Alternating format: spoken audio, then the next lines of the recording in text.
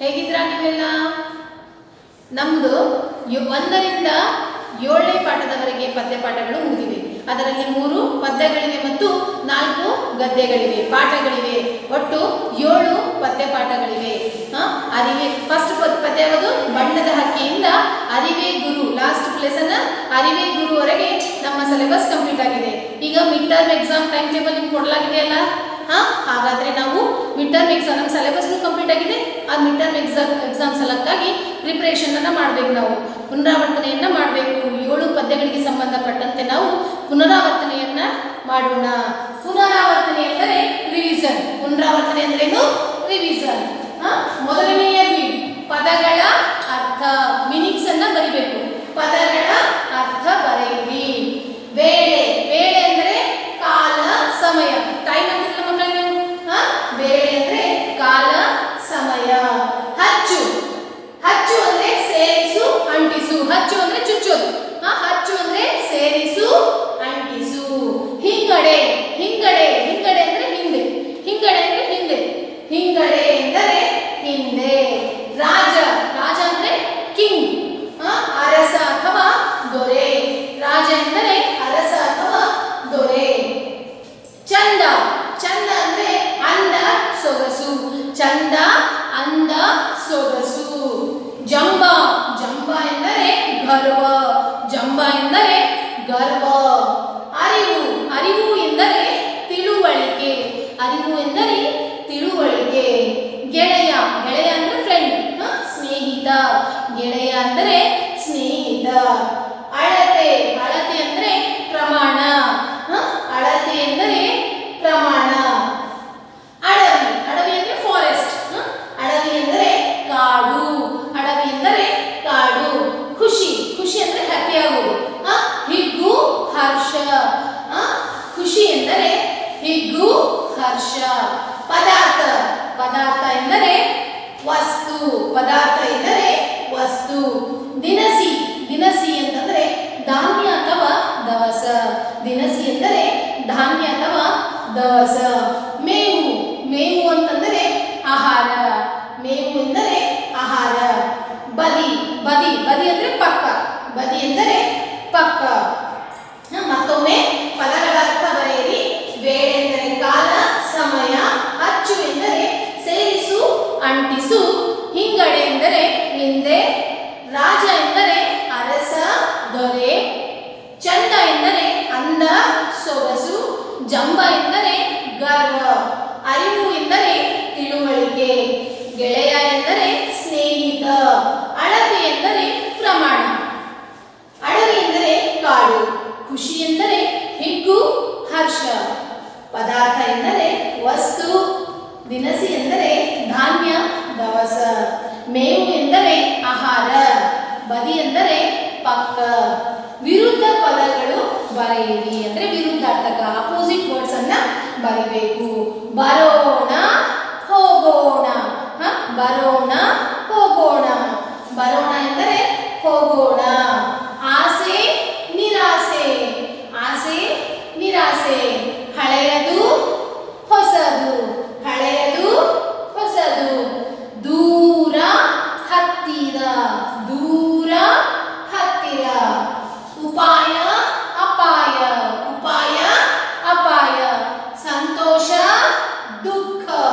ಸಂತೋಷ, ದುಃಖ, ಜಾಣತನ, ದಡ್ಡತನ ಜಾಣತನ, ದಡ್ಡತನ ಮೂರನೇದು, ಪ್ರಾಸ ಪದಗಳನ್ನು ಬರೆಯಿರಿ ಅಂದ್ರೆ ರೈಮಿಂಗ್ ವರ್ಡ್ಸ್ ಅಂತಿಲ್ಲ ಮಕ್ಕಳೇ ನೀವು?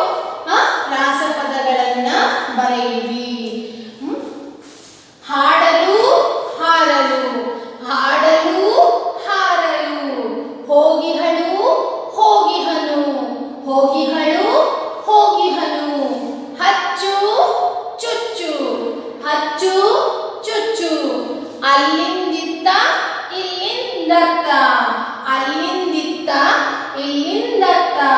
ಮರವಿತ್ತು ಹರಡಿತ್ತು. ಮರವಿತ್ತು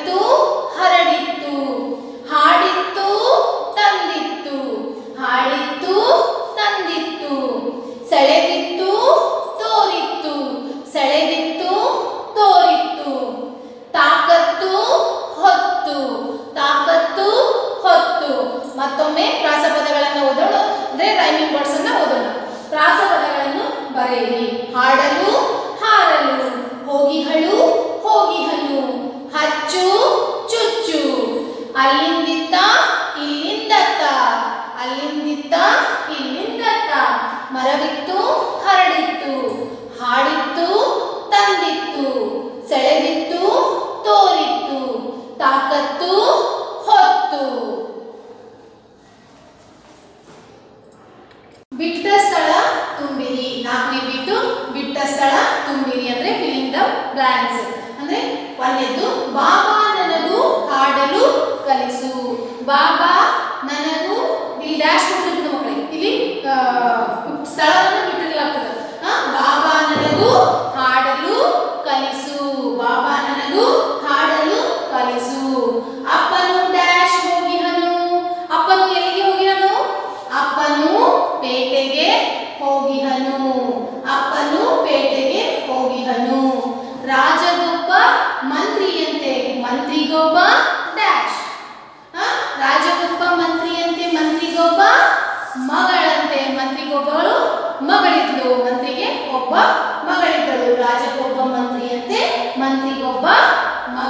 ಬಂತೆ ನಾಲ್ಕನೇದು, ಸೂಜಿಯ ತುದಿಗೆ ಡ್ಯಾಶ್ ಸೇರಿಸುವುದು ಹೇಗೆ ಎಂಬುದು ತಿಳಿಯಲಿಲ್ಲ. ಸೂಜಿಯ ತುಮಕಳಿ ಅದರ ತುದಿಗೆ ತುದಿಗೆ ಏನ್ ಸೇರಿಸ್ತಾರ? ದಾರ ಸೇರಿಸ್ತಾರ. ಸೂಜಿಯ ತುದಿಗೆ ದಾರ ಸೇರಿಸುವುದು ಹೇಗೆ ಎಂಬುದು ತಿಳಿಯಲಿಲ್ಲ. ಐದನೇದು, ಬಾಯಿ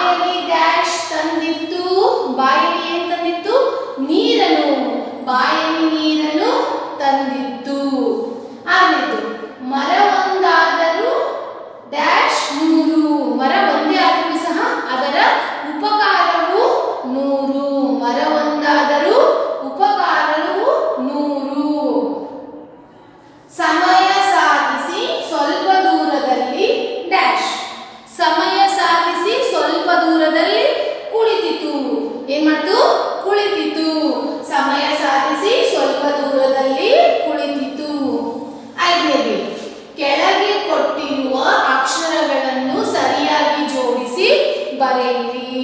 ಇಲ್ಲಿ ಅಕ್ಷರಗಳನ್ನು ಕೊಡಲಾಗಿದೆ ಮಕ್ಕಳಿಗೆ ವರ್ಡ್ಸ್ ಅನ್ನು ಕೊಡಲಾಗಿದೆ.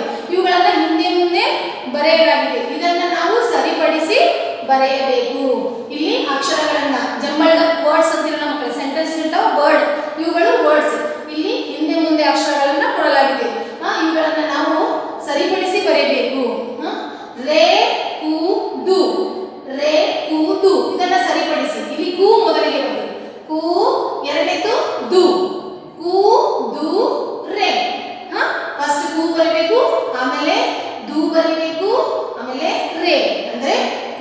ಹೇ ಎರಡನೇದು, ಲ, ಸ, ಹೇ. ಇದನ್ನ ಸರಿಪಡಿಸಿ ಬರೆದಾಗ ಸ ಸ ಫಸ್ಟಿಗೆ ಬರೀಬೇಕು. ಲ ಸೆಕೆಂಡ್ ಹೇ ಥರ್ಡ್ ಸಲಹೆ ಇದನ್ನ ಸರಿಪಡಿಸಿ ಬರೆದಾಗ ಸಲಹೆ ಆಗುತ್ತದೆ. ಕೂಡು ಇದನ್ನ ಸರಿಪಡಿಸಿ ಬರೆಯೋದು. ಫಸ್ಟಿಗೆ ಕೂ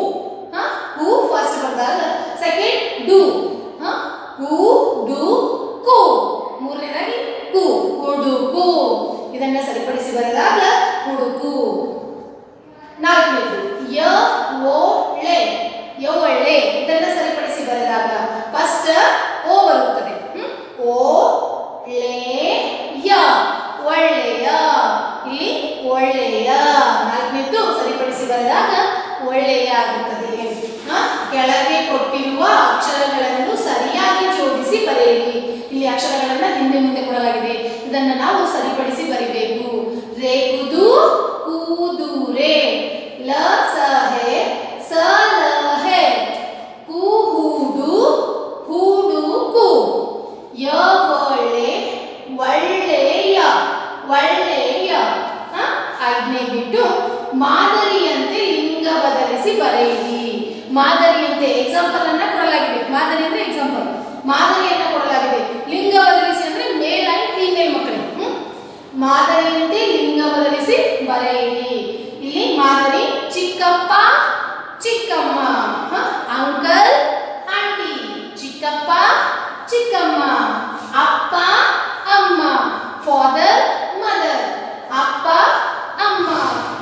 когда